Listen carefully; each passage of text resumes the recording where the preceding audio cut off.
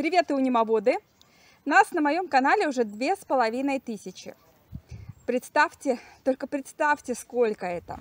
Очень много, на мой взгляд, потому что когда я начинала этот канал, и унимоводов в России было, ну, наверное, несколько десятков. Сейчас, даже если это не сильная страсть, а просто интерес, то я все равно горжусь этой цифрой значит у нас много общего, нам есть что с вами обсудить. Сегодня я хотела затронуть очень важную тему, которая волнует как новичков, так и опытных коллекционеров. Это название видов и сортов. Я очень часто, наверное, не проходит и дня, как я получаю вопросы пожалуйста, определите мое растение, вот вам моя фотография. Порой я не сдерживаюсь, я часто раздражаюсь, когда вижу такие вопросы, особенно от э, тех людей, которые давно меня знают и знают, по какой причине я не отвечаю на такие вопросы с оговоркой. Я знаю, что вы не любите эти вопросы, но, пожалуйста, вот вам моя фотография, подскажите, что это за сорт. Друзья мои, сейчас э, в этом видео я вам подробно расскажу, почему я не отвечаю на такие вопросы. Первое и главное, что сейчас э, с интересом, с ростом интереса к иониумам э, возникло огромное количество сортов.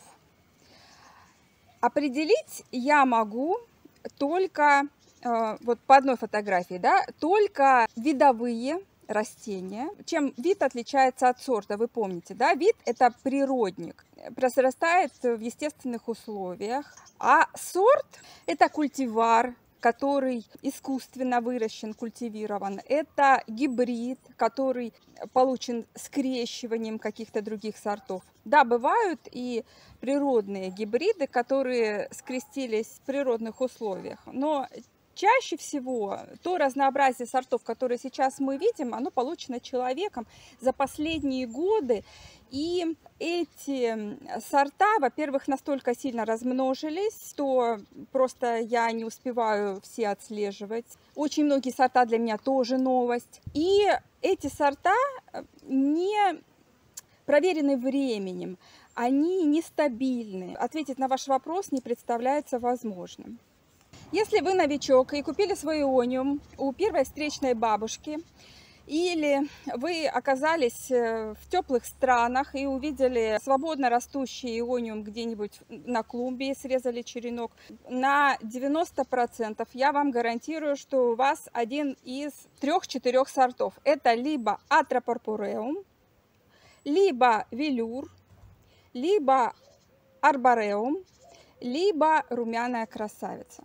Вот если вы вот в таких условиях, когда вам хозяин дарит черенок или продает, или вы его срезали на улице, и вы не знаете, что это, то есть хозяин не знает, то это, скорее всего, один из этих сортов.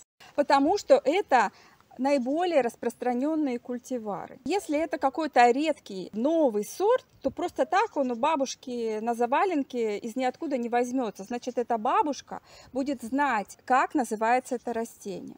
Те эунимоводы, которые серьезно занимаются растениями, э, у них наверняка будет не просто точное наименование, но еще его э, латинская транскрипция. Поэтому, когда вы получаете эониум, вы должны в первую очередь спросить, а что вы мне, собственно, продали?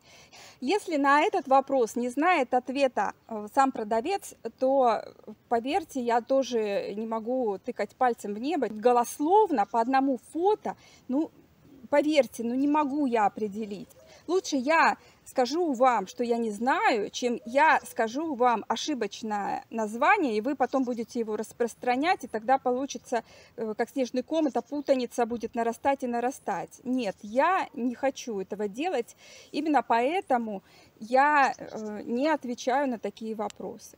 Далее, чтобы определить сорт, нужно знать очень много параметров. Нужно понимать, какой величины розетка у взрослого материнского растения.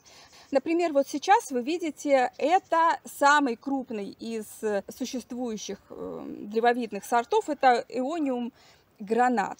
У него очень большая розетка, но если вдруг вы стали обладателем вот такого малыша, маленькой розетки, то по одному маленькому бутончику я тоже не могу предположить, во что это вырастет. Малыши очень часто не похожи на своих мам. Далее, очень важно знать, как растение ветвится, какой формируется взрослый куст. Ну, например, если мы уже взяли гранат, то мы видим, что это очень мощные стебли с огромными розетками. Очень важен цвет. В течение года у граната от действительно такой гранатовой шкурки до кирпичного. Вот сейчас он у меня уже уходит в оранжевый, еще немножечко, а он станет такого э, терракотового цвета. Очень важно, какие бутоны иониум формирует э, в период спячки и как он ведет себя в зимний период. По одной фотографии я тоже не могу это определить. Вот, например, это Эониум Корнелиус лемси. Сейчас вы видите в спячке он эм, сбросил большую часть своей листвы, розеточки скукожились. Но если вы вспомните, как это растение мое выглядело в начале весны, это были такие лохматые розетки с очень длинными листьями. Я их называла дредами настолько они были длинные и свисали вот так вот э, под э, своей тяжестью э, к земле. Я знаю теперь, как ведет это растение себя, потому что я наблюдала его в течение года. Если я просто увижу вот такую розетку, я могу предположить все что угодно. Важно, имеет ли листва велюровые ворсинки. Вот если вы видите на молодом приросте э, такие едва уловимые ворсинки, то это либо Blush and Beauty, либо велюр, либо какие-то сорта новые, выведенные на их основе. Например, эониум глютинозум, такие ворсинки мало того, что не имеет, у него еще и липкая листва. Если прикоснуться, то вы прямо чувствуете, как будто бы вы э, потрогали нечто, облитое сиропом. Это тоже отвечает на вопрос, а что это за сорт. Отдельно скажу вам, что запах не критерий для определения сорта. Вы меня спрашиваете, а вот у меня этот иониум пахнет. Как вы думаете, это велюр Друзья мои, пахнут практически все эониумы, если их потревожить. Они пахнут под ярким солнцем. Если вы начнете переставлять с места на место. Я иногда прохожу мимо кустов и слышу этот аромат. С чем это связано? Почему растение начинает э, выделять эти запахи в определенный период? Ну, я не могу вам ответить стопроцентно на этот вопрос, поэтому э, запах исключим из определения сорта. Это не критерий. Следующий признак, который может э, помочь нам определить сорт, это цвет э, цветочков на цветоносе. Очень многие иониумы, практически большинство, цветут желтыми соцветиями. Желтые соцветия будут и у граната, и у вуду, и у циклопа. Очень многие Иониумы цветут желтым, но есть такие иониумы, которые цветут белым. Это, например, урбикум, псевдоурбикум. Розовым цветет ланцеротенский. Сорт можно определить и по плотности соцветий. Так что очень много критериев для того, чтобы определить все-таки о каком сорте или виде мы с вами говорим. Если вы действительно настолько серьезно увлеклись, что хотите досконально разобраться, я вам советую поискать э, ботанические справочники, которые в основном на английском языке. Но там э, будет э, перечень иониумов, где растет конкретный вид, когда он был обнаружен, будет эволюция названий, кто когда поименно обнаружил, где хранится гербарий с этим определенным иониумом. Ну, например, в этом справочнике вы латиницей наберете или найдете в, в перечне иониум Нобеля. Прочитайте да, досконально, как он выглядит, э, как он размножается. И вы поймете, например, что вот это растение не чисто Нобеля. Это Нобеля гибрид, потому что он э, ветвится. Хотя очень много схожих признаков, но если вы внимательно почитаете, вы поймете, что это, конечно же, не классический нобели, не видовое растение. Есть э, очень хороший ресурс, э, чешский сайт. В нем представлены не все существующие виды, но те, которые вы на этом сайте найдете, очень пространно описано, как э, ведут себя растения, алфавитный порядок. Вы клацаете на тот сорт, о котором хотите больше узнать, и читаете. Там тоже, по-моему, английский и испанский. Очень я вам рекомендую испаноязычную литературу. Я, как и многие из вас, испанским не владею. Я пользуюсь Google переводчиком, но хочу вам сказать, что в испаноязычном сегменте очень много дельной информации, хотя бы потому, что родина этих растений это либо острова, которые принадлежат э, Испании, либо острова, которые принадлежат э, Португалии. Для них это родные растения, родная флора, естественно, то, как не они, будут знать о ней больше. Но э, в ботанических справочниках вы найдете только видовые эонимы. Все, что касается сортов, особенно последних сортов, советую вам пользоваться Инстаграмом. Ни ВКонтакте, ни Одноклассники, ни авторитет. У нас все-таки очень узкое сообщество, несмотря на то, что нас уже две с половиной тысячи только на моем канале. Тем не менее, это не наши родные растения, и мы э, не обладаем той полнотой информации, той насмотренности, которая будет у вас, если вы будете пользоваться Инстаграмом. Потому что Инстаграм ныне запрещенный, но тем не менее я вам советую им пользоваться. Там публикуют свои растения и унимоводы со всего мира.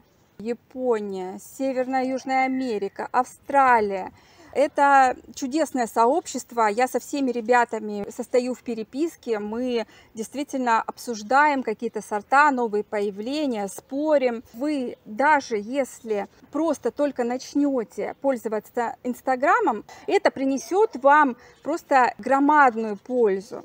Что нужно делать? Нужно написать в графе поиск, э, там где лупа, хэштег.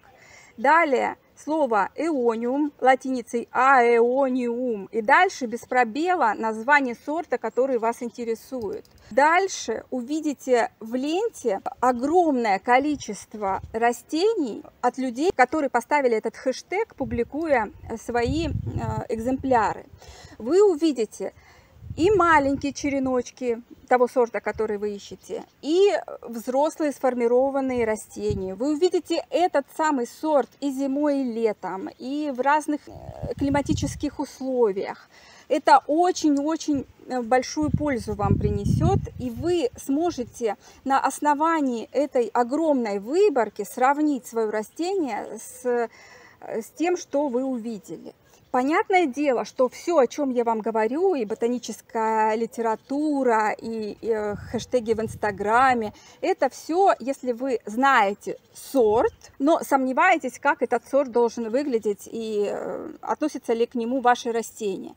Обратного поиска, конечно, нет.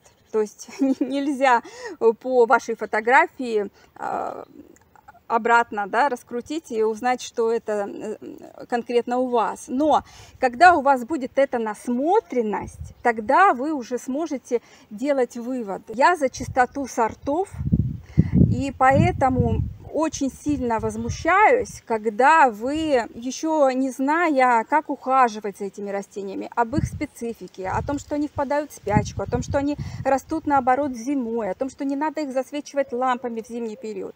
Вот не обладая всей этой информацией, но вы купили два череночка и срочно, почему-то обморочно, вам нужно определить сорт.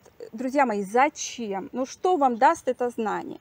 Если вы будете в этом развиваться, вы, э, эта информация придет к вам сама собой. У вас будет насмотренность. Ну, как любое другое коллекционирование, чем бы вы ни занимались, вы постепенно становитесь в этом профессионалом. Вы начинаете в этом разбираться. Не стоит это делать вот э, с первого своего череночка, который вы приобрели. Я надеюсь, что я дала вам какие-то подсказки, где э, получать информацию, а вы уже дальше, пожалуйста, сделайте эти шаги сами. Еще раз скажу, Да, я уже знаю, может быть, больше, чем вы, но я не знаю всего. И я не могу вам точно определить сорт по фотографии.